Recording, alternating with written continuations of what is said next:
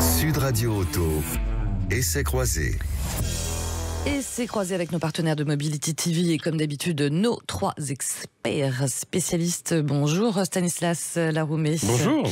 Journaliste automobile et fondateur de Ma Voiture Idéale. Bonjour Jean-Christophe Lefebvre. Bonjour. Journaliste à Flotte Auto et avec nous en audio Jacques Estançon de VPN Auto à Bordeaux. Bonjour Jacques. Bonjour. Ce matin, avec vous, on parle de la fameuse Peugeot 2008. Et je vais commencer par vous, Jean-Christophe Lefebvre. Euh, Je vous sens. J'ai cru comprendre que ce n'était pas le grand, grand emballement.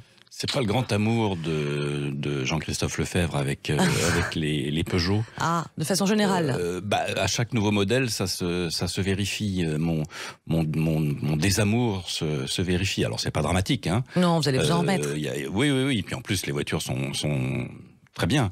Simplement, je euh, passé le 3008, qui est donc le juste au-dessus, c'est-à-dire le renouveau et le best-seller de, de Peugeot, euh, donc SUV compact. Le reste, pour moi, n'a pas suivi. C'est-à-dire que la 2008, euh, qui est donc la catégorie en dessous, qui est euh, une, une citadine, une Peugeot 208 surélevée, euh, à peine plus logeable, euh, j'ai jamais été très très séduit par son les, les- la- ses prestations globales. Ah. Entre les moteurs, les liaisons au sol, c'est-à-dire le confort, l'agrément de conduite, j'ai j'ai trouvé que c'était plutôt une voiture mollassonne dans son comportement, alors qu'elle n'est pas très confortable. Elle a plutôt des suspensions assez raides. Alors bon, euh, elle, a, un moteur, euh, elle a une version électrique qui, là est remise à jour avec un moteur plus puissant, 156 chevaux, même si on n'utilise pas tous ces chevaux euh, en permanence. Une batterie un peu plus grosse. Donc ça, c'est pas, c'est une voiture qui peut séduire cer- certaines entreprises et des particuliers. En revanche, euh, les motorisations thermiques, dont le fameux trois cylindres euh, qui, euh, qui tombait souvent en panne et qui, a, qui est remplacé récemment. Donc euh, voilà, elle a eu des petits défauts, euh, y compris des défauts de qualité de fabrication. Alors, voiture mollassonne, pas très confortable. Est-ce que vous êtes tout aussi. euh, ça y va, hein Est-ce que vous êtes tout aussi sévère, euh, Stanislas, ou pas Non, non, moi pas du tout. Moi, euh, je- 2008? moi, alors moi, le, le 2008, j'aime, j'aime bien. Je suis pas fan des, des petits SUV comme ça. Il faut savoir qu'avant la première 2008, c'était tout simplement un break surélevé euh, euh, basé sur la 208 et qui remplaçait pour le coup la 207 SW. Là, c'est vraiment un mini 3008. Alors, ça fait beaucoup de chiffres, hein, tout ce que je Oui, vous raconte, ouais. mais c'est vraiment un, un petit 3008, un 3008 en réduction. Euh, c'est un style d'ailleurs très proche. Alors c'est c'est un, un peu encore plus surdessiné qu'un 3008 à mon sens. Moi, c'est une voiture avec laquelle j'ai fait beaucoup beaucoup de kilomètres euh, quand elle est sortie. J'ai fait le Tour de France avec. Et euh, moi, je trouve qu'en comportement routier, comme toutes les Peugeot, elle est, elle, est- elle est, super. Et euh, j'ai trouvé ça assez confortable aussi. Après, oui, euh, c'est ça manque d'habitabilité euh, et de coffre. euh, c'est un, un Renault Capture fait mieux, qui est son concurrent direct, et un Renault Capture sera moins cher. Euh, les Peugeot ont tendance vraiment à être de plus en plus chers.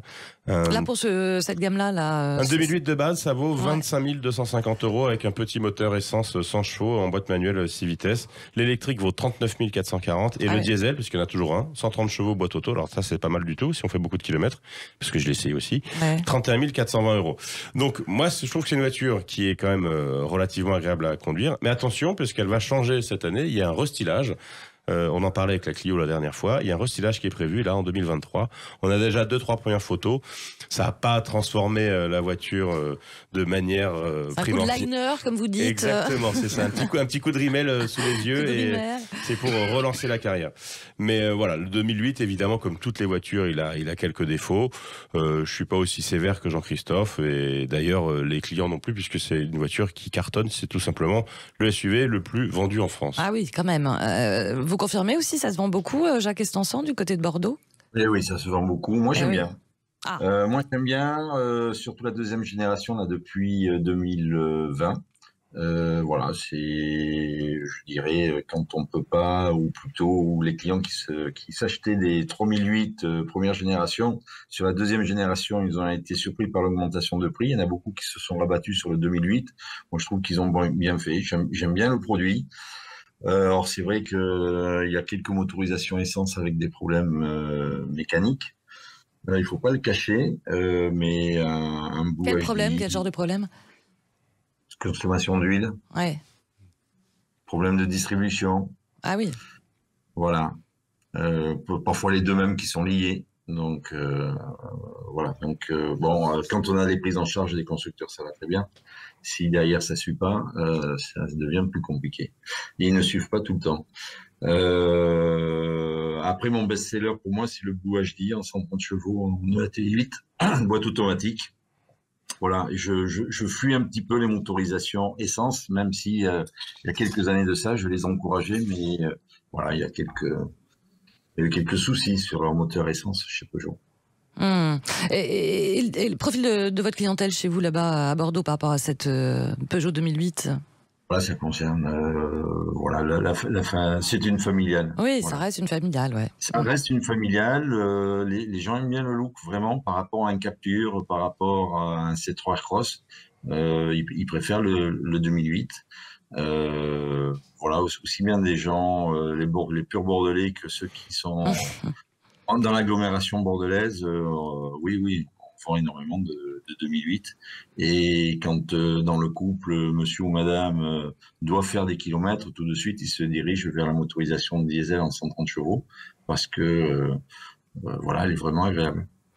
Vous qui connaissez bien l'histoire des voitures, Stanislas, c'est l'attachement historique, non, à la Peugeot? Ou pas C'est-à-dire bah, Côté familial, euh, ah, oui. qui, dure. Mais non, c'est ce que je disais, c'est que c'est vraiment une petite familiale. C'est un ou peut-être deux enfants, mais euh, encore une fois, y a un C3 Aircross fait mieux, un C Citroën ou un Renault Capture fait mieux. Donc euh, moi, c'est pas une voiture que je conseille franchement quand on veut avoir de la place et et, euh, et un grand coffre. on l'achète comme on vient de le dire pour son design, c'est ce qui plaît. Et, et c'est très juste de dire que les gens qui ont été effrayés par l'augmentation des tarifs du 3008 actuel rabattre vers le 2008, qui est déjà cher, mais qui est évidemment moins cher qu'un 3008. Ouais. Euh, pour terminer, euh, euh, Jean-Christophe, bon, on a bien compris, vous êtes le seul avocat de la non-défense de cette Peugeot.